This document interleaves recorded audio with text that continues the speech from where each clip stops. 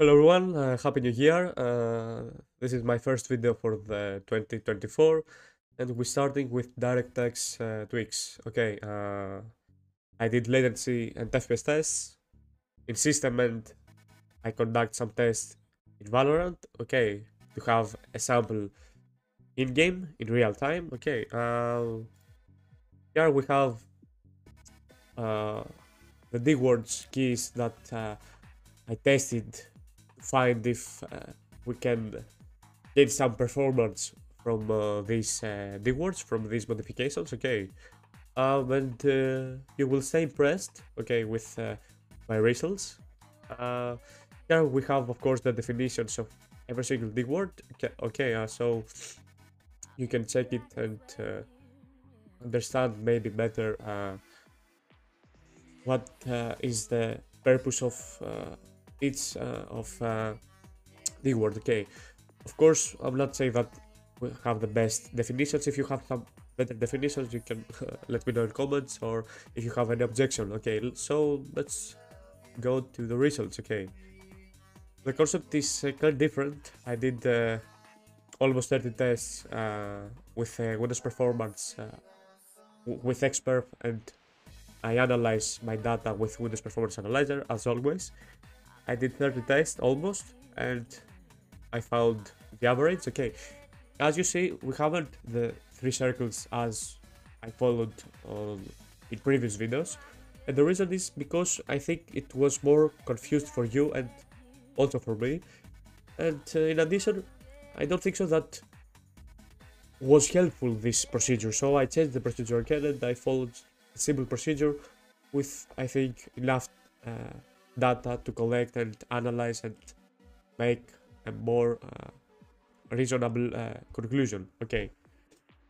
Anyways, we have system latency before, after, Valorant latency before and after. Again with with Windows Performance Analyzer and XPerf.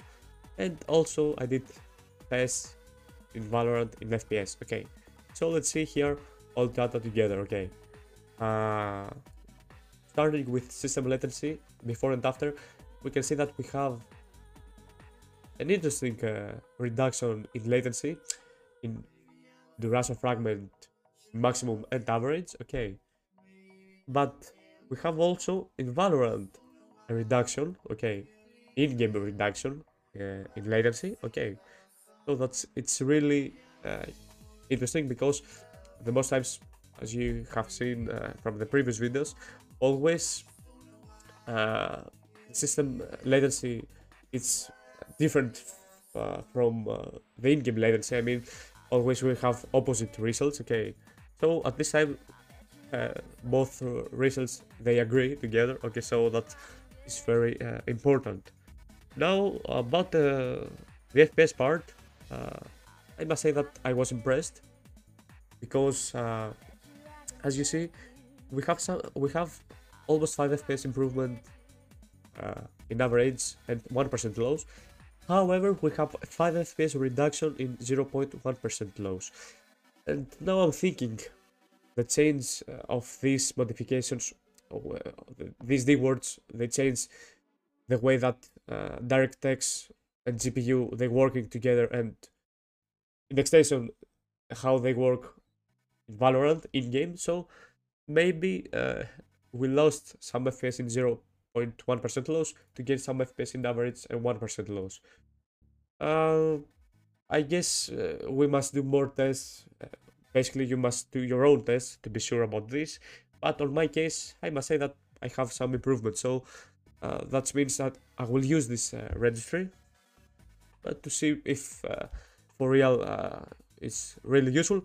According to my data, uh, we can say that we have some improvement, not something huge, but also the most important I think for today is that we have some more FPS with these modifications. And maybe it's logical because uh, uh, this modification changing DirectX and all games using DirectX. Okay, so I guess uh, it was uh, normal. Anyways, uh, that was the video, guys. I hope you enjoyed that. I wait your uh, thoughts in description, in description, in comments, and let me know uh, what uh, else video do you want to see. Thanks for watching guys and happy new year.